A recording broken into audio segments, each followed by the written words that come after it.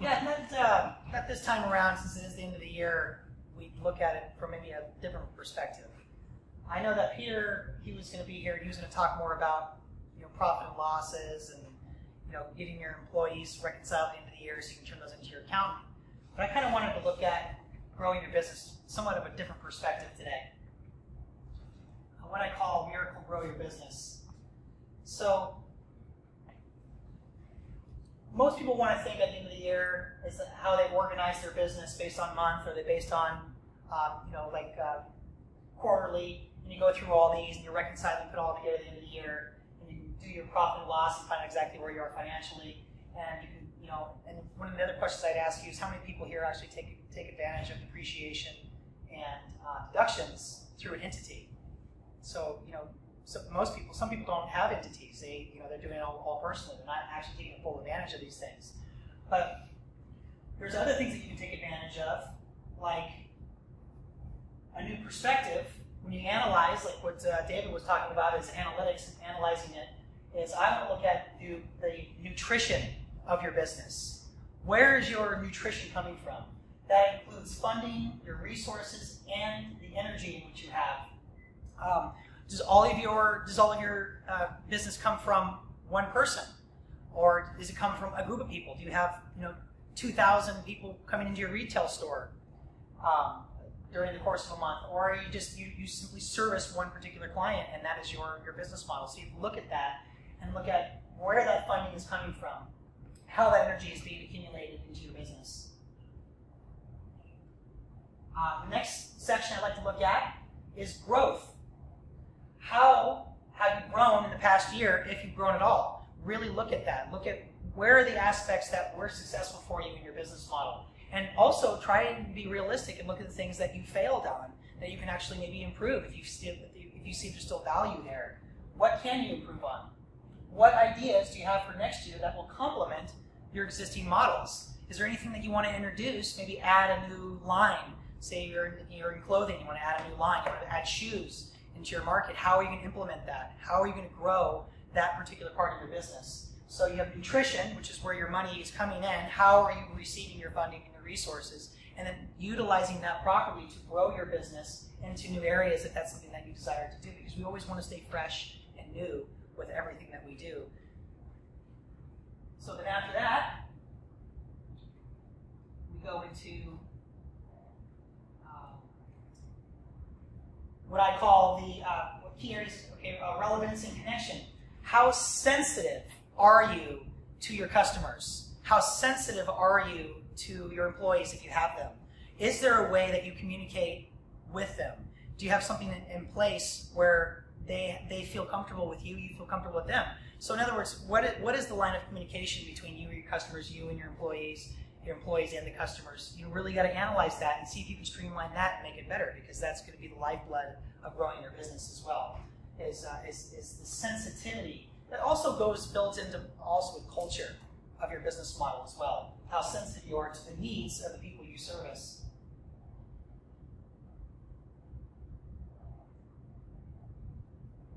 And last here, uh, the fourth is uh, the uniqueness, what your specialty is, what you specialize in the differentiating factors. Really think about what makes you unique because that is what you that's really what you're selling in the end. Um, what, what can you do to implement over the next year that will bring greater value to those you serve? What aspects can you really focus on to, to grow your, your business model over the next year of that unique character, that specialty that you want to add into your business model? And how are you, how are you going to accumulate future customers with that? How are you going to get that? Having a clear vision, clear statement will really help in that regard. So I kind of wanted to give you guys an idea of thinking things a little bit differently. Yes, Chris. Um, so what if um, what makes you unique? I wanted to talk about that. What if in my website I am too unique? Ah, okay. Well, you want to stay. Does that happen? Yes, it does. Okay, so you want to stay. You want to have your own unique style, but you want to be where people can actually respond and be relevant to those people, right? You don't want to be totally, you know, off your rocker where it's like, you know, people are coming to you because you're actually crazy or, you know, you're such a curiosity because you're so out there. But you want to be relevant to people. You want to be able to, to really have a relationship with your customers as well. The problem that I'm having is that in my website, it tells you that I'm a writer, it tells you that I'm a photographer, and those two things work really well also a music maker, and I'm also a, um, a performer as a good fortune as a sword swallower. And all of those things together, um, it, it feels like it's too much.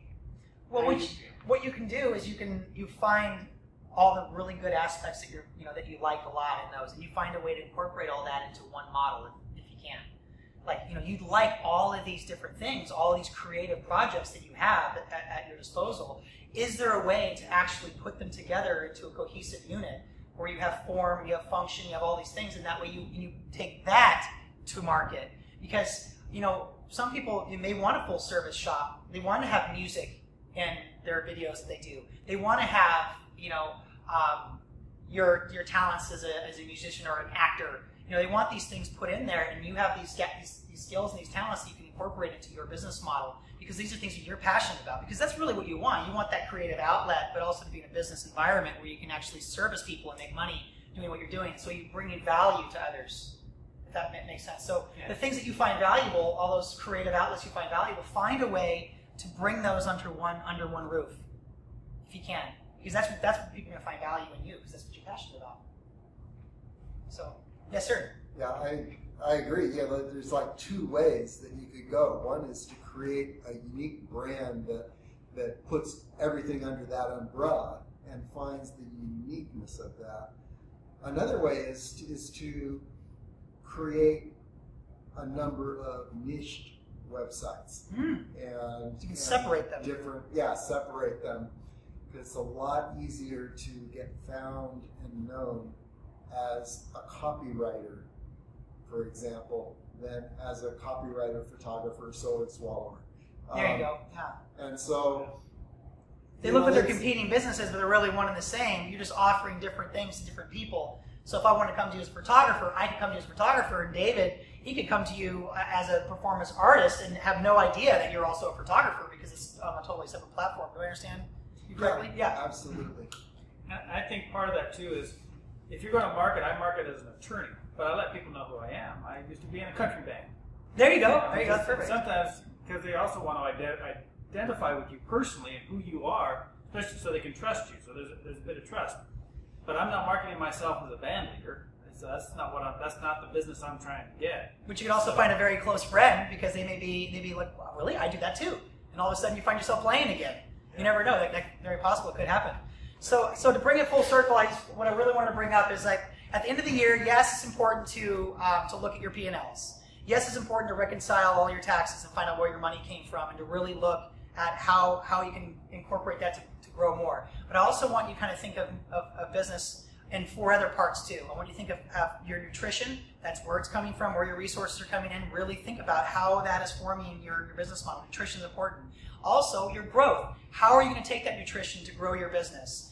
How are you, what are you what are you doing if you are wanting to grow? What are you doing with that nutrition?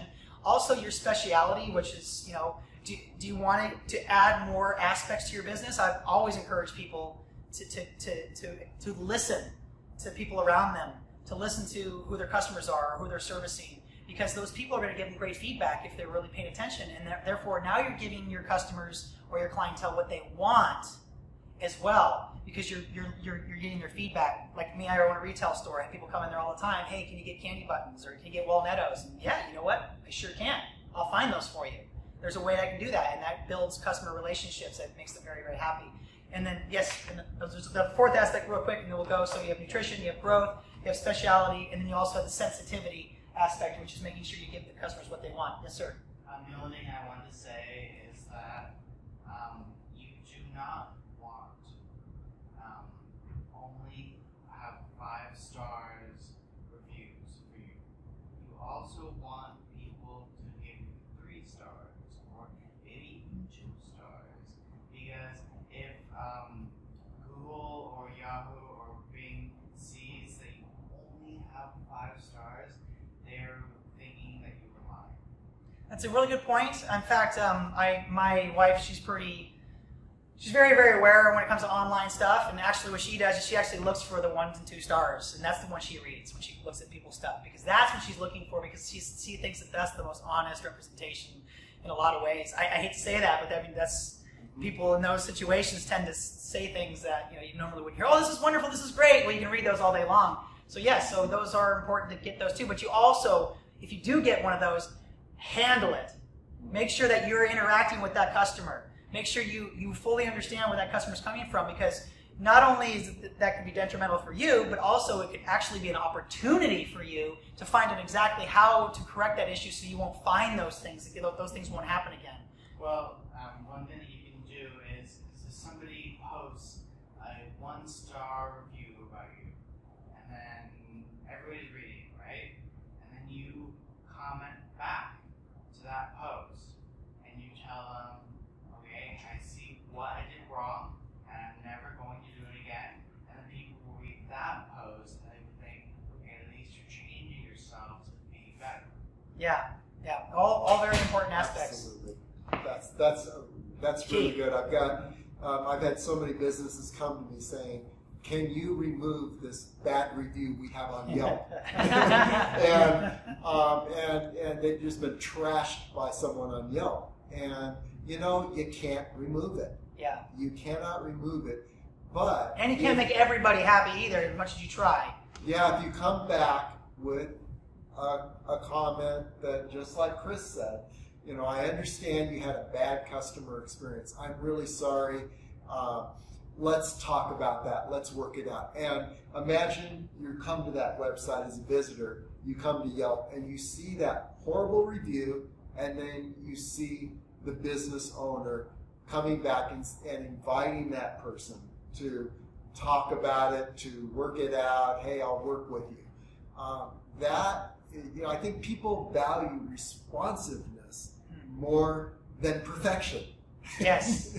so So, so incorporate that sensitivity into your business model over the next year if you can. That being sensitive to the needs of your customers, listening to them, whether it's a positive review or a negative review, really take those things to heart because that's how you gauge on the scale that David was talking about, where, where your baseline is, where your scale is. You're getting feedback from the people that you are servicing, that you are working with. So anyway, but I appreciate everybody coming today, and uh, if you have any questions, we'll be happy to talk to you afterwards. Thank you so much.